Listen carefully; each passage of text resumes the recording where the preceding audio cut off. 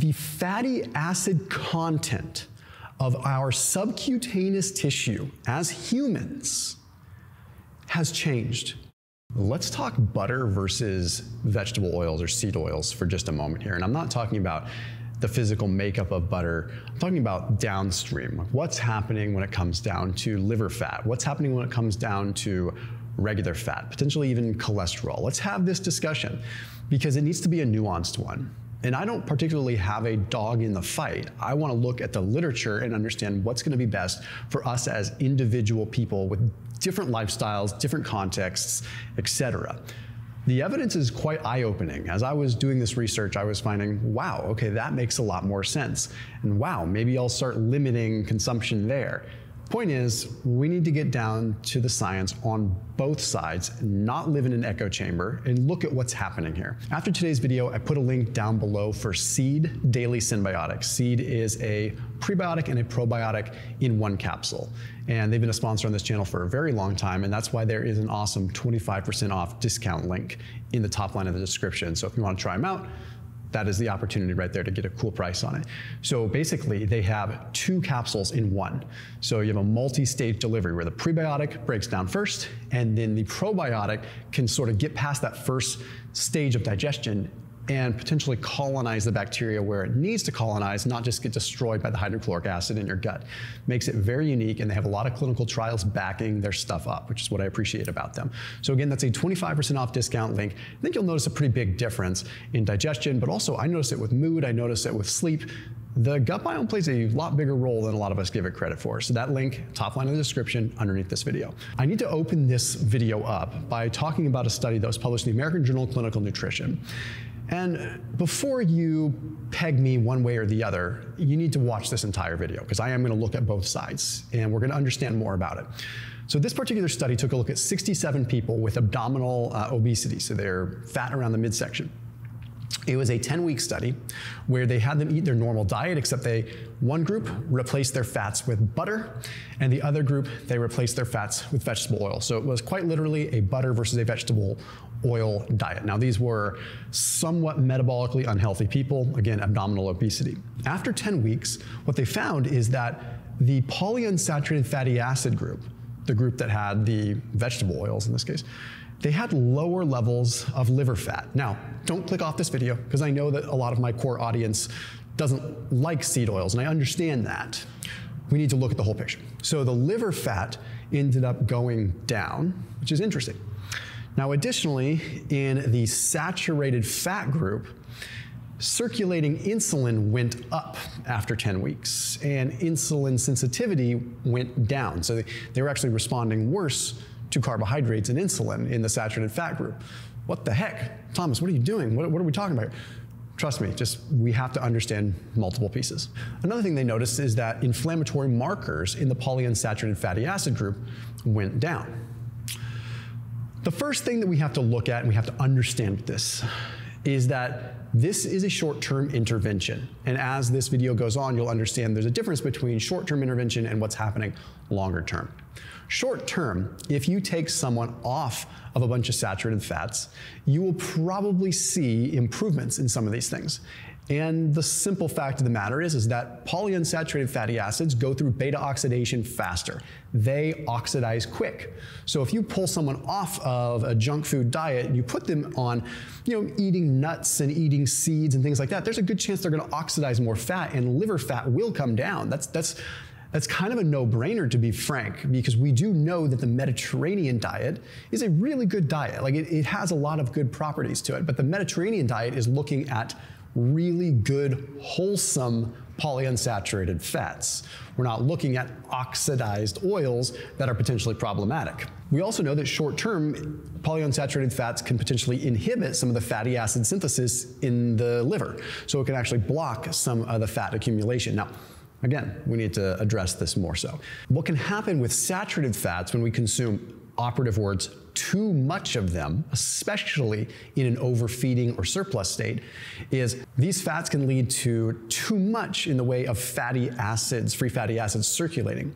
This leads to the mitochondria not being able to fully oxidize all those fats, and you're left with what are called partially oxidized fatty acids, which can lead to an inflammatory response. So, this A has to do with probably consuming too much of them in one sitting or too much of them over a short period of time.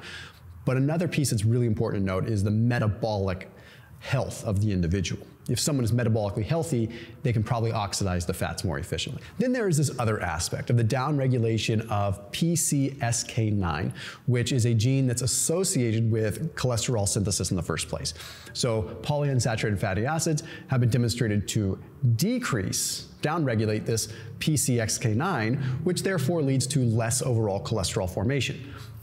That is only one piece of the equation. Okay, we're going to talk more about cholesterol in a second because just lowering overall cholesterol that doesn't get me out of bed in the morning. That's not an exciting discussion to have because I don't think it's about the total cholesterol. I think most of us know it. It's more about the particulars of it. No pun intended. Particles, particulars.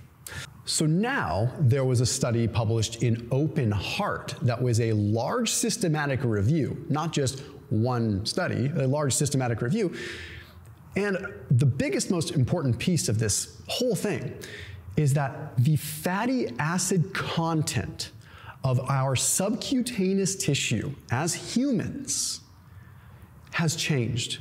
In 1959, the linoleic acid content of our subcutaneous fat was about 9%, 9% linoleic acid. In 2008, that was all the way up to almost 22% linoleic acid. So the literal physical composition of our fat has changed. Interestingly enough, this aligns with the obesity rate. Now, that doesn't mean everything because correlation doesn't equal causation, but here's what's important to note. The overall amount of linoleic acid in our fat tissue, the composition of linoleic acid in our fat tissue, is a literal associated risk factor for coronary artery disease. Like that is listed as a risk factor, having high amounts of linoleic acid as your subcutaneous fat. So that alone is a risk factor. So we know longer term, as a whole, when we're consuming these things all the time, it could be problematic. But the operative word there is could be because there's another piece to this puzzle, and that is oxidation. And it's one of the most important pieces that we should recognize. I'm going to read you a quote from the systematic review that's pretty powerful. The evidence is resounding that oxidized LDL is important in the formation of atherosclerosis. LDL particle oxidation, the actual oxidation of LDL itself, is really the big problem. Oxidized LDL is huge, and it is initiated by the oxidation of the linoleic acid within the LDL particle itself. For what it's worth, it's also the most commonly oxidized. So not only does oxidized LDL begin when that linoleic acid is oxidized, that linoleic acid seems to like to be oxidized.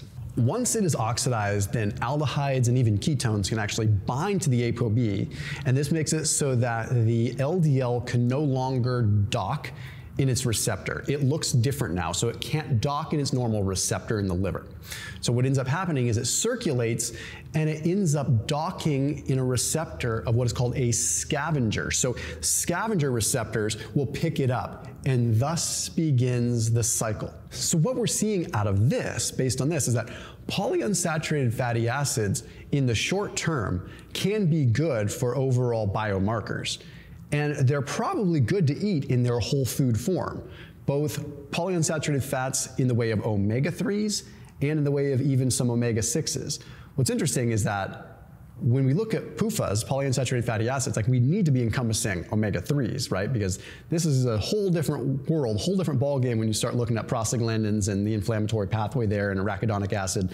I'm not even gonna go there today because this video would be 30 minutes long, easy.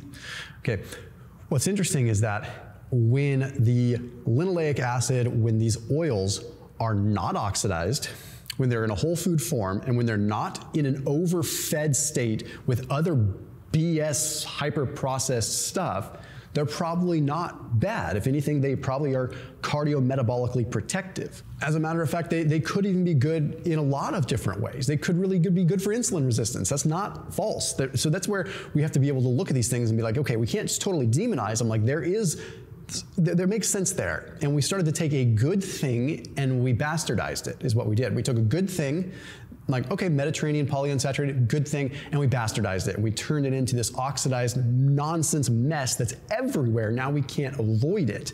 That, I don't think, is the plan or should be the plan, because long term, we might be running a little bit of a risk. Now, the thing still applies that if someone is overfeeding saturated fats, it's probably a serious issue too. So now we're going to look at another study that helps us understand when to use saturated fats and like how do we do that delicate dance there? So this study was published in Diabetes Care, and they took 38 subjects and they overfed them a thousand calories. So they gave them a thousand calorie surplus of either saturated fat, unsaturated fats, or sugar. So what they found here was pretty wild. They found that when they overfed subjects saturated fat, it increased their intrahepatic triglycerides, their liver fat, 55% compared to unsaturated fat increased the liver fat 15%. I'm not done though. Sugar increased the liver fat 33%, 98% increase in de novo lipogenesis, which means 98% of the fat that came from the sugar excess group was new fat. It was new fat formed from de novo lipogenesis brand new, new everywhere. Here's the particulars and here's the nuance, and I hope that you're listening to this because this is everything that matters. The saturated fat group increased lipolysis. Lipolysis is fat mobilization. But lipolysis without mobilization doesn't do us much good. As a matter of fact, the excess saturated fat group increased lipolysis to the point where a majority of the fat that was stored in the liver was actually from adipose tissue lipolysis, meaning saturated fat was consumed, the body liberated adipose, liberated fats from the fat tissue, those circulated and deposited in the liver. This is going to be grossly incorrect to illustrate it this way, but it's going to get the point basically across. Is that it's like overfeeding saturated fat allowed fat to pull from like the waist or pull from the legs, go through the bloodstream and redeposit into the liver. As a matter of fact, with saturated fat, only 26% of the fat that deposited was from new fat formation. Again, you compare that to sugar, where 98% of it was new fat formation and 33% of that depositing in the liver. You can see that sugar could compound very quick, even quicker, because you're getting new fat all the way around and it's depositing, versus like saturated fat might be sneaky because you might not put on fat in the subcutaneous region, but you might like pull it from other areas and pack it in the liver, which would really not be good. So from a visceral fat perspective and stuff like that, we have to pay attention to that. Here's what's interesting to extrapolate from this though, because now you're thinking I'm just a saturated fat hater, but I'm not. If you are active and you actually use the fat that is mobilized, saturated fat could be quite beneficial. And it's got a lot of neurological properties in terms of like helping brain health and whatnot. But additionally, this was in an overfed state. This is so important to note.